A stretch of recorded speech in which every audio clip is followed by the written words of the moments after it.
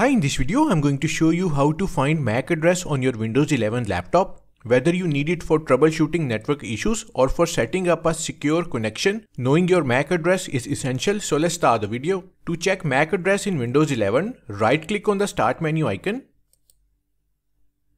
and then click on settings. In the settings window, click on network and internet tab in the left sidebar here you will see various network settings. Click on Ethernet if you are using a wired connection or Wi-Fi if you are connected wirelessly. We are going to click on Wi-Fi. Now click on Hardware Properties.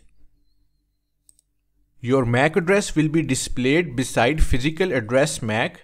So this is your MAC address. Remember you might have multiple MAC addresses if you have multiple network adapters. So that's how to find MAC address on Windows 11. Thanks for watching.